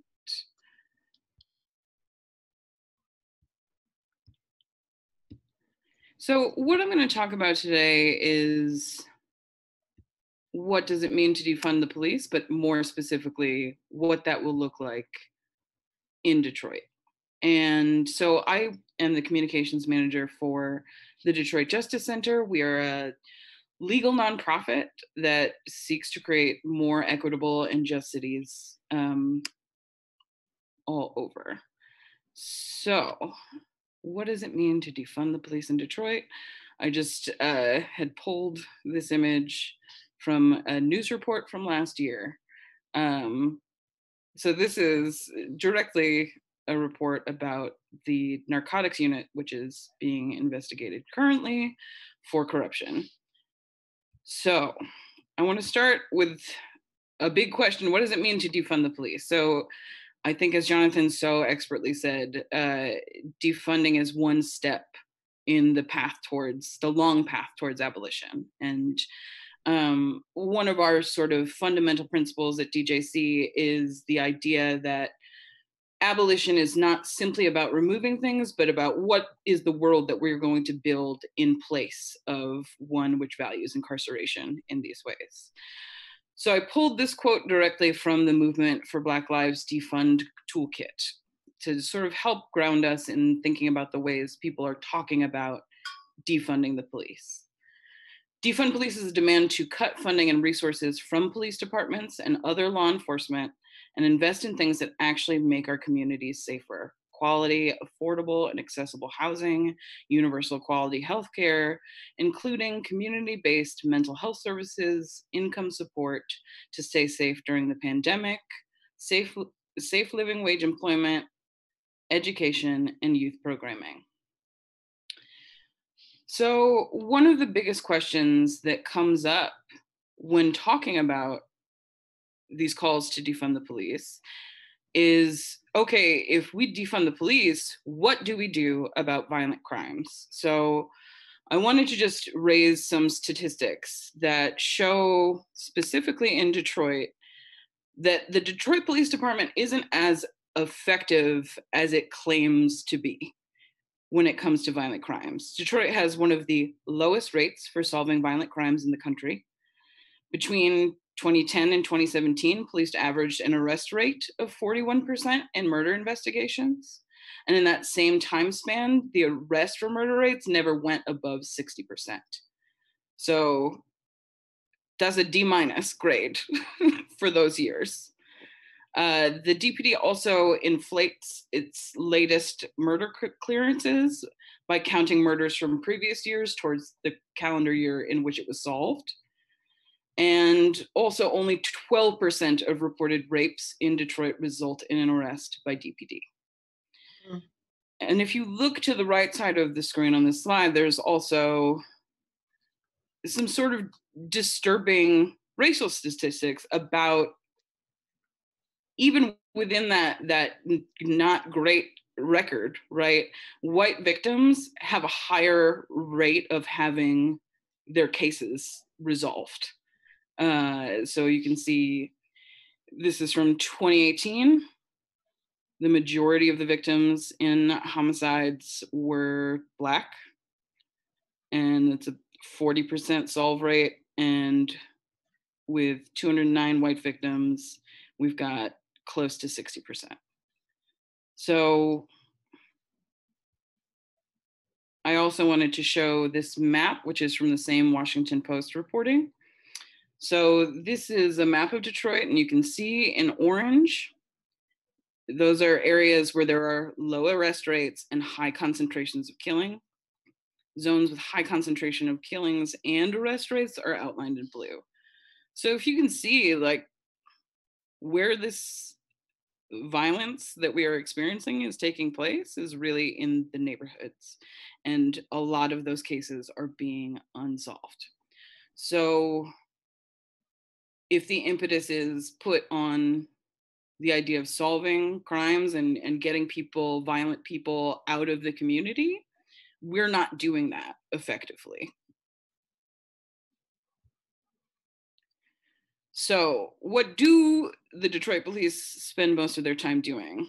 So, we know from um, Vera's reporting that more than half of all prosecutions in the state of Michigan are for traffic offenses.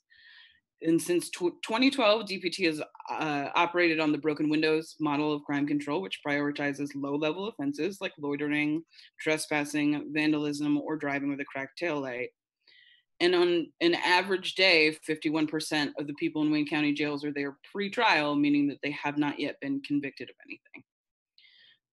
And then there's also the issue of militarization when it comes to DPD. So uh, in more than a dozen military style raids executed between 2013 and 2015, DPD's Operation Restore Order uncovered little evidence of lawbreaking beyond marijuana possession, in one such raid, which involved 150 DPD officers, two helicopters, and a tank, not a single arrest was made.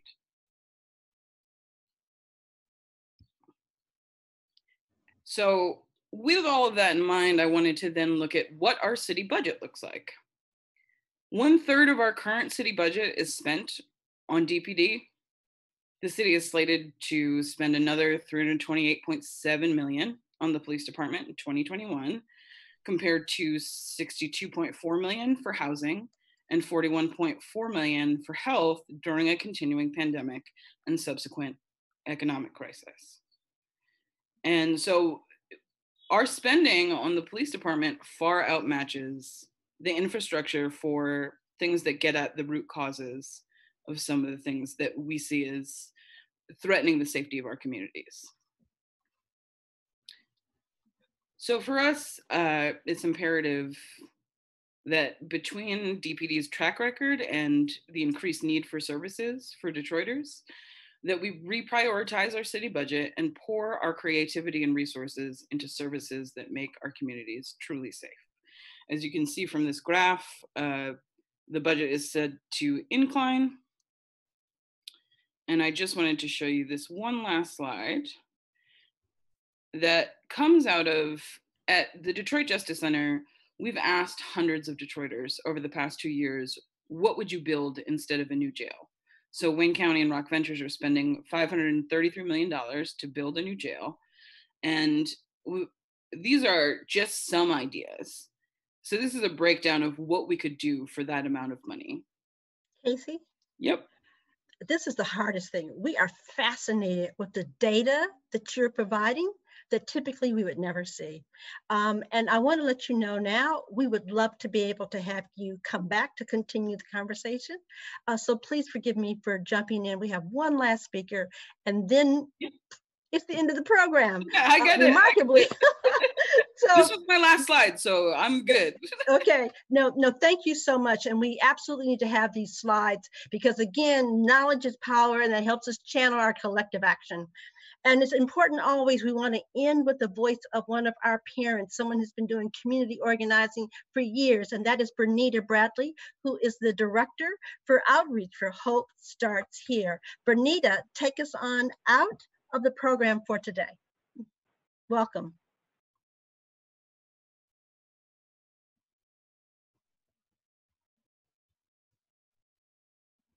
Is Bernita with us?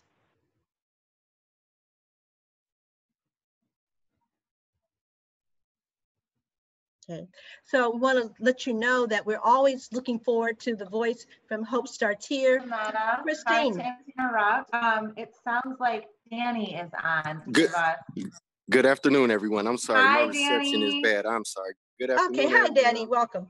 Hi, my name my name is Danny. Yes, I'm a part of with Hope Starts Here. I am a community outreach specialist, and uh, Miss Bradley told me to kind of give some words of encouragement and explain uh, what we do. Uh, and at Hope Starts Here, we uh, ag- advocate for parents and children who need essential resources, uh, especially now. And I've been doing like phone calls, reaching out to families, and uh, a lot of families that I did get in contact with, they actually needed the resources that we are um, able to provide. So they were taking down numbers, websites, and stuff like that. So it was really informative.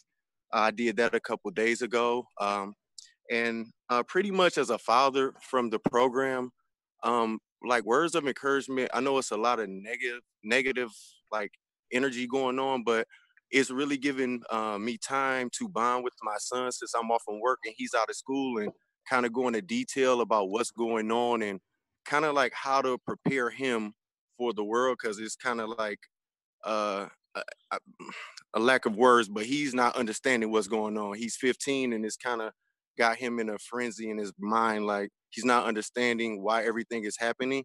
So I don't have a lot of answers for him at times. So we sit down and, you know, we research and look at certain things together. So to me, that's like bonding time, which is a positive. And um, also we get out to like uh, exercise. I've been seeing a lot of fathers with their sons like running, um, maybe just throwing a football, but just getting out with them. So that's like positive encouragement. Some things maybe fathers can pick up on. Um, and uh, besides that, uh, we just I'm trying to make myself available through Hope Starts here to help families because uh, I'm kind of in good shape, uh, thank God. But it's a lot of families who don't have resources for uh, things we take for granted. Not us per se, but people. And uh, I'm just glad that I can help the families with all of the websites and numbers and you know connections to help them because they really need it in these times. So I just wanted to report that from uh, Hope Starts here, and we are definitely doing our diligence to help the community, even though we can't actually physically reach them. Danny, thank you so much. Uh, and thank Hope Starts Here. And as a dad, sharing your experience. Uh, we've had wonderful presenters. Christine. Thanks, Jametta. Mm-hmm. It's time to wrap up the town hall. We want to thank all of our panelists and we want to thank each of you for joining us today. Remember, if your question wasn't answered, we will get the answers and post them next week on onepbs.org and on the DPTV Facebook page. So look for your questions there. Again, we're going to be here next Thursday. And the following Thursday for 4th of July, we're going to take a bit of a break and maybe do some highlights. So still something for you to look forward to. So we'll see you next week.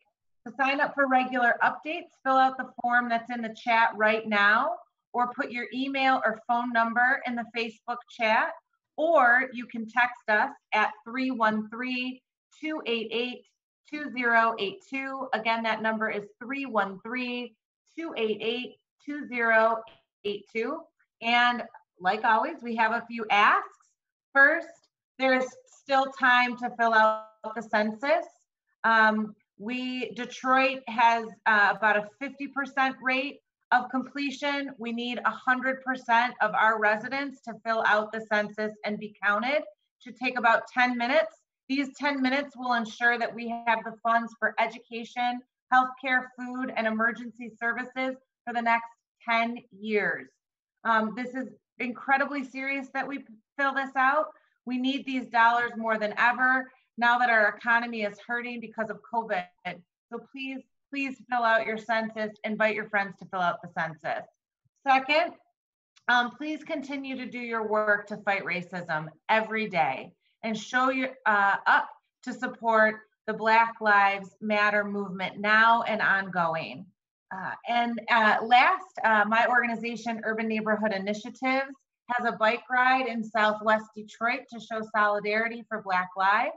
Meet us at 10 a.m. at 8300 Longworth and uh, join us for the Solidarity Bike Ride. We'd love to see you tomorrow.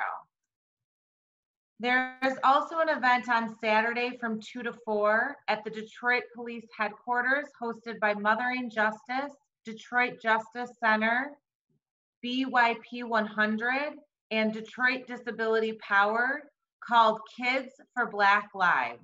They will be chalking and family, there will be chalking and family activities. And I'm assuming that's sidewalk chalking in addition to other family activities. Before we go, we want you to know that we want to hear from you more specifically about, about the town halls and what you want to hear about on the town halls. So if you have topics or experts that you want to hear from, please share them in the chat right now, or you can text us at 313 288 2082. We're posting a survey in the chat right now, one last time. Fill it out and you'll be entered to win a $25 gift card. This town hall is truly a group, group effort. So before we go, we'd like all of the partners to turn on their cameras.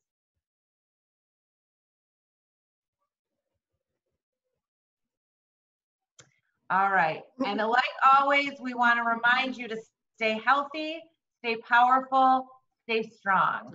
Cindy, please say that in Spanish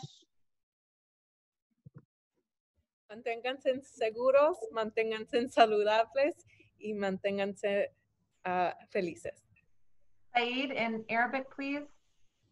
حافظ على صحتك كن ثابتا ومتينا وابقى قويا إلى اللقاء وشكرا thank you Thanks, everybody. Have a great weekend.